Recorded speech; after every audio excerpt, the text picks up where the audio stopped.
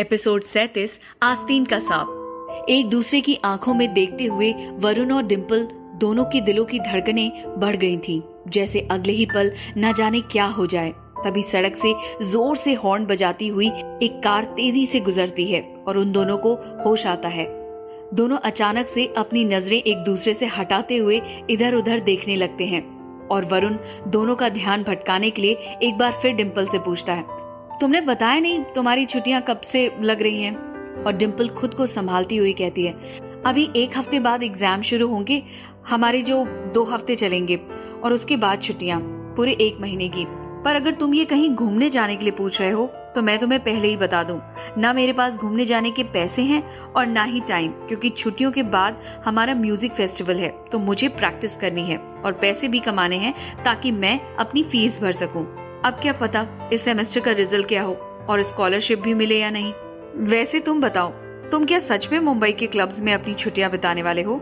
डिम्पल के इस सवाल पर वरुण हंसता हुआ कहता है, वो बस एक मज़ाक था डिम्पल मैं तो काम ही करने वाला हूँ, ज़्यादातर। और कभी टाइम मिला तो शिरीष और ऋषि से ये कहते कहते वरुण रुक जाता है और फिर बात बदलता हुआ अपनी जेब टटोलता हुआ डिम्पल से कहता है, वैसे मैंने तुम्हारे लिए हामिद लॉरेंस का ऑटोग्राफ लिया था। और जब वरुण को याद आता है कि ऑटोग्राफ वाला टिश्यू पेपर तो उसकी कल वाली जीन्स में ही रह गया है, वो थोड़ा निराश होता हुआ कहता है, जो कि मेरी दूसरी जीन्स में रह गया तो तुम अगली बार वो मुझसे याद से ले लेना. लॉरेंस का नाम सुनते ही डिम्पल एक्साइटेड हो गई और उसने आगे बढ़कर वरुण के हाथ पर अपना हाथ रखते हुए कहा, सच? तुम हामिद लॉरेंस से मिले थे? और फिर इसे वरुण का कोई मज़ाक समझते हुए कहती है नहीं, तुम बस अगली बार मिलने का बहाना ढूंढ रहे हो, जिसकी तुम्हें ज़रूरत है नहीं, क्योंकि तुम तो जानते ही हो कि मैं तुम्हें कहाँ कहाँ मिल सकती हूँ। अब जाओ, मुझे भी क्लास के लिए लेट हो रहा है। ये कहकर डिम्पल कार का दरवाज़ा खोलकर बाहर निकल जाती है और वरुण एक टक अपनी उस हाथ को देखता रह जाता है, जिस पर डिम्पल ने अभी अभी अपना हाथ रखा था। तभी डिम्पल कार के कांच को खटखटाती हुई वरुण को होश में लाती है और उसे बाय कहकर वहाँ से जाती है। डिम्पल के वहाँ से जाते ही वरुण के दिल में जैसे एक मीठा सा दर्द उठता है और वो मुस्कुराता हुआ खुद से कहता है, पक्का डिम्पल के लिए सब नॉर्मल होगा। किसी का हाथ पकड़ने पर भला क्यों स्पेशल महसूस होगा उसे?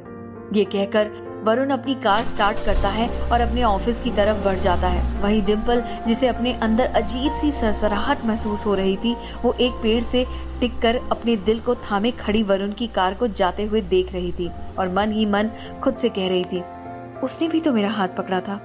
फिर मैंने उसके हाथ पर हाथ रख दिया तो इसमें कौन सी बड़ी बात है? वैसे भी उसे तो लड़कियों के हाथ थामने और छोड़ने की आदत होगी। लेकिन मिस डिम्पल आप इन चक्करों में नहीं पड़ना। ये कहकर डिम्पल मुस्कुराती हुई अपने कॉलेज की तरफ़ मुड़ जाती है। एक तरफ़ जहाँ रोहन राय प्रकाश की लाइफ एक ब्लैक एंड व्हाइट फ़िल्म बनकर रह गई थी क्योंकि इस तरह चुपचाप घर में एक अच्छा बेटा बनकर बैठे रहना रोहन का स्टाइल नहीं था। ऊपर से छुट्टियों ने उसकी ज़िंदगी और मुश्किल बना दी थी। अब उसके पास घर से बाहर निकलने के लिए कॉलेज जाने का भी बहाना नहीं था। इस वक्त रोहन अपने कमरे में लेटा टीवी पर कोई शो देख रहा था कि तभी एक सर्वेंट ने आकर उससे कहा, साहब, आपको बुला रहे हैं बाबा। ये सुनते ही रोहन का मूड खराब हो जाता है और वो अपना हुलिया ठीक करता हुआ अपने पापा के स्टडी रूम में पहुँचता है। तो देखता है कि वो अपनी आँख पर पास का चश्मा चढ़ाए कोई फ़ाइल पढ़ रहे हैं। रोहन बिना उनके कुछ कहे उनके सामने वाली कुर्सी पर बैठता हुआ कहता है, आपने बुलाया पापा?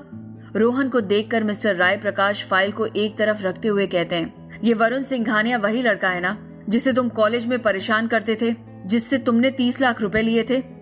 वरुण का नाम सुनकर रोहन थोड़ा घबरा जाता है, क्योंकि उसे समझ नहीं आता कि उसके पापा अचानक उसका ज़िक्र क्यों कर रहे हैं, और थोड़ा हिचकिचाता हुआ कहता है हाँ पापा, वरुण वही लड़का है, लेकिन अब मैं उसे परेशान नहीं करता हूँ। उसे क्या किसी को परेशान नहीं करता हूँ? मिस्टर राय प्रकाश अपने बेटे को अच्छी तरह जानते थे, क्योंकि वो भी उस उम्र से होकर गुजर चुके थे, इसलिए वो कहते हैं, तुम किसे परेशान करते हो और किसे नहीं? इससे मेरा कोई लेना देना नहीं है रोहन। लेकिन अगर इससे मेरी इज़्ज़त या मेरे बिज़नेस में कोई प्रॉब्लम आती है तो तुम देखोगे मैं क्या कर सकता हूँ। खैर, मैंने तुम्हें ये बताने के लिए यहाँ बुलाया है कि अब तक तुम्हारे और वरुण के बीच में जो भी हुआ, वो हो चुका। अब मैं चाहता हूँ कि तुम उससे अपने रिश्ते सुधारो और उससे दोस्ती करो। अपने पापा की ये बात सुनकर रोहन मन ही मन हंसता हुआ खुद से कहता है, एक बार सूरज पश्चिम से निकल सकता है, पापा, लेकिन मेरी और वरुण की दोस्ती? इम्पॉसिबल और मैं तो दोस्ती करने का नाटक करके चीज़ें और भी खराब कर चुका हूँ। अब तो उसका मुझ पर भरोसा करने का कोई चांस ही नहीं है। रोहन अभी ये सोच ही रहा होता है कि उसके पापा आगे कहते हैं। वरुण अभी बिज़नेस में नया है और वर्धमान भी इस हालत में नहीं है कि कुछ कर सके। इसलिए वरुण की जड़ें जमे, उससे पहले हमें उसे उखाड़ कर फेंकना होगा, क्योंकि इससे अच्छा मौका हमें दोबारा नहीं मिलेगा। अपने पापा का ये प्लान रोहन का चेहरा खिला देता है। क्योंकि वरुण को जड़ से उखाड़ कर फेंकने की खुशी उससे ज़्यादा किसी को नहीं हो सकती थी। इसीलिए उसने अपने पापा की बात पर सहमति जताते हुए कहा, मैं समझ गया पापा, मैं अपनी तरफ़ से पूरी कोशिश करूँगा। ये कहने के बाद रोहन वहाँ से जाने लगता है कि तभी उसके पापा पीछे से टोकते हुए कहते हैं, बहुत जल्द हामिद लॉरेंस एक पार्टी रखने वाले हैं। और मुझे पक्का यकीन है कि अगले लॉन्च वाले दिन वरुण ने जोश जोश में आकर जो अनाउंसमेंट की है, उस सिलसिले में बात करने के लिए वो उस पार्टी में जाने का मौका नहीं छोड़ेगा। इसीलिए मैं चाहता हूँ कि तुम वरुण से उस पार्टी में मिलो, ताकि उसे हम पर शक न हो। पार्टी का नाम सुनते ही रोहन के मन में लड्डू फूटने लगते हैं, लेकिन अपने चेहरे पर एक गंभीर भाव लिए हुए वो अपने पापा से कहता है, जैसा आप कहें पापा, और वहाँ से चला जाता है। अगर रोहन इस वक्त खुश था तो वरुण उससे दो दुगना ज़्यादा खुश था, और इसकी वजह थी डिम्पल इसी खुशी में मुस्कुराता और किसी गाने की धुन गुनगुनाता हुआ, वो अपने सिंघानिया ग्रुप के शहर के बीचों बीच बने ऑफ़िस पहुँच गया था। अपनी जीन्स के जेब में दोनों हाथ डाले, शर्ट के ऊपर के दो बटन खुले, वो इस वक्त उस दस मंजिल बिल्डिंग के ग्राउंड फ्लोर पर खड़ा लिफ्ट के आने का इंतज़ार कर रहा था।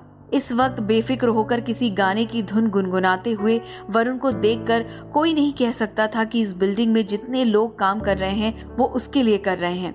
ऑफ़िस के हिसाब से वरुण के कपड़े फॉर्मल नहीं थे, लेकिन इन कपड़ों में भी वो इतना स्मार्ट लग रहा था कि अब लिफ्ट में उसके साथ खड़ी लड़कियाँ उसे देखकर आपस में बात करने से नहीं चुक रही थी।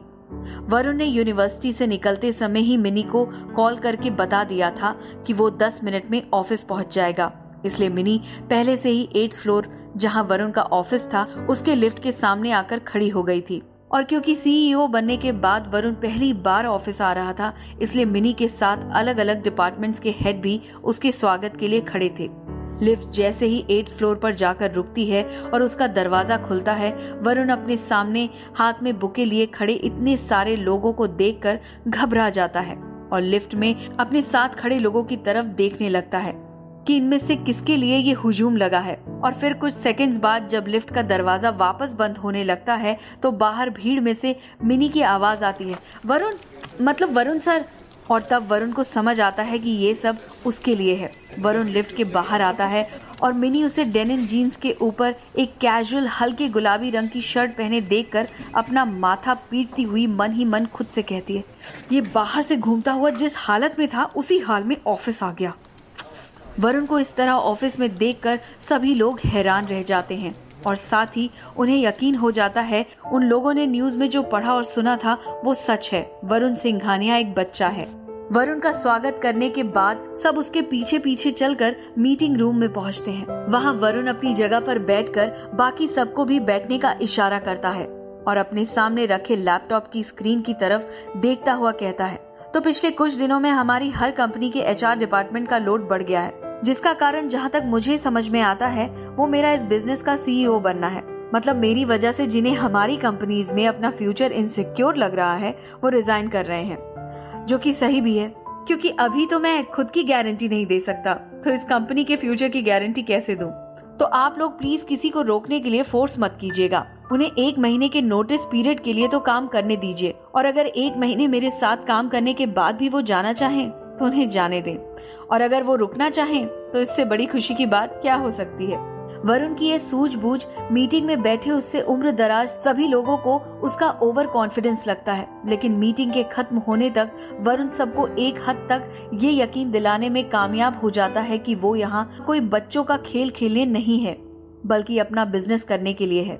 मीटिंग खत्म होती है और वरुण अपने चेहरे पर एक मुस्कान लिए अपने दाहिने तरफ़ मुड़कर कहता है और मिनी लैपटॉप की स्क्रीन से अपनी आँखें हटाकर वरुण की तरफ़ देखती हुई कहती है यस सर मिनी के मुँह से अपने लिए सर सुनकर वरुण को हँसी आ जाती है, लेकिन उस वक्त वो किसी तरह अपनी हँसी को कंट्रोल करता हुआ कहता है, कल मैंने जो तुमसे वर्किंग आवर्स कम करने के लिए बात की थी, तुम उसमें एक पॉइंट और जोड़ देना। वैसे तो ओवर टाइम काम करने की कोई ज़रूरत नहीं पड़ेगी।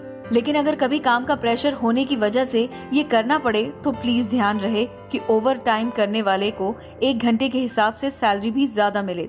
और अगर पॉसिबल हो तो इस पॉलिसी को अगले महीने की बजाय इसी महीने से लागू करने की कोशिश करना। मिनी इस बार यस सर कहने की जगह अपना सर हाँ में हिलाती है और वरुण वहाँ से जाने के लिए खड़ा हो जाता है, जिसे देखकर मीटिंग रूम में मौजूद बाकी सभी लोग भी खड़े हो जाते हैं।